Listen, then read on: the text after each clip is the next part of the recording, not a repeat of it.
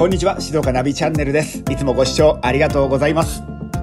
今回は藤枝市本町に来ております。商店街を少し抜けた千歳通り沿いになります。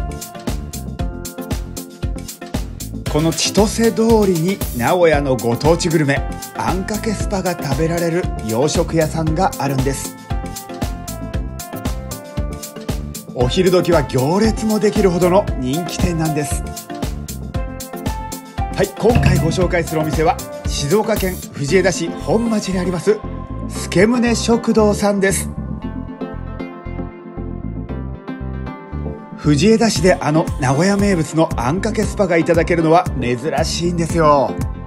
それとこのこじんまりとした可愛らしいお店の雰囲気が何とも言えません。ではお邪魔していきましょう。店内は木目を基調とした温かみのある空間。入り口を入ったすぐにカウンター席とお店の奥にはテーブル席もありますよ。もちろん家族連れでも十分楽しめそうですね。ではメニューを見ていきましょう。はいこちらがメニューになります。お店の看板メニューのあんかけスパですね。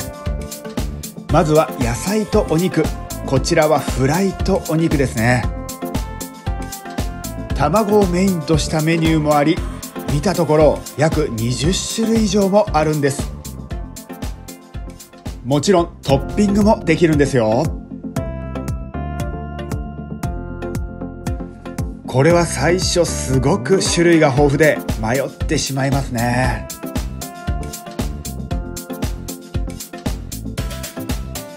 もちろん洋食屋さんですのでオムライスや定番のナポリタンお子様ランチデザートやドリンクも豊富。なんとお弁当まであるんです。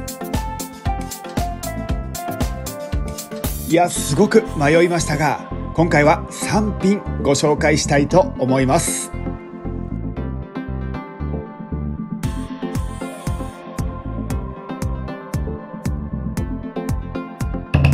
はいまず最初にこちらはケチャップのオムライスです。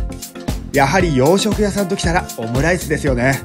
シンプルな定番オムライスは誰しも大好きな一品です。続きましてこちらが数量限定のナポリタンになります。もうすでにケチャップの香ばしい香りがたまりません。数量限定でしたのでぜひ食べておきたい一品です。さあ最後にこちらがあんかけスパのバイキングです。かなり迷いましたが今回はこちらのバイキングにしました。それではいただいていきましょう。さあまずはふわふわ卵の昔ながらのオムライスです。もう食べるのがもったいないくらいの綺麗なオムライス。甘酸っぱいケチャップがチキンライスとの相性抜群です。具材のマッシュルームがたっぷりで美味しいんです。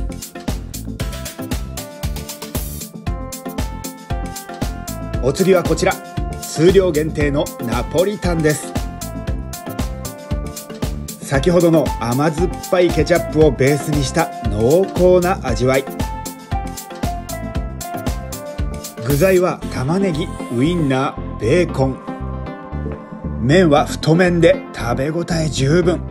甘酸っぱい味を粉チーズでまろやかにして食べるとさらに美味しくなります。タバスコでピリッと刺激を加えるとより一層美味しさが増します。最後はこちら。あんかけスパのバイキングになります。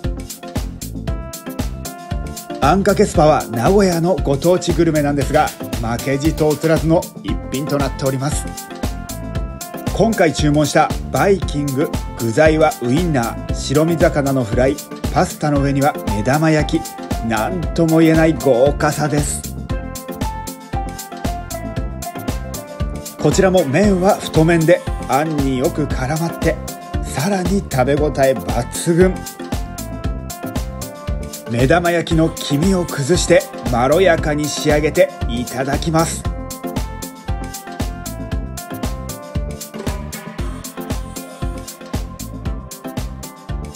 白身魚のフライがサクサクで中はホクホク。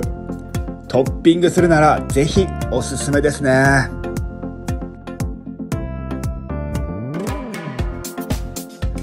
とにかく麺がもっちもちでケチャップベースで酸味と甘みのあるあんがとにかく癖になるんです。このあんがかなり美味しいので白飯にかけたら何杯でもいけちゃいそうですよ。いやごちそうさまでした。これはリピート間違いなしですね。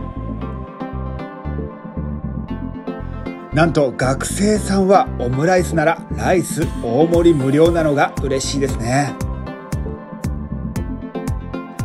はい今回ご紹介したお店は静岡県藤枝市本町にありますスパゲティと洋食の店助宗食堂さんでした。まだまだ食べてみたいあんかけスパたくさんありました。ぜひ皆さん一度伺ってみてはいかがでしょうか。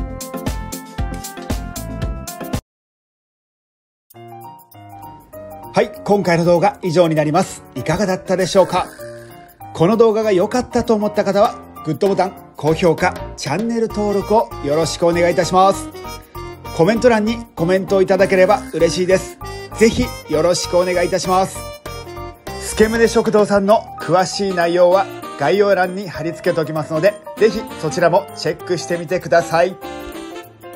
これからも静岡をどんどんご紹介していきますので、ぜひチャンネル登録をして待っていてください。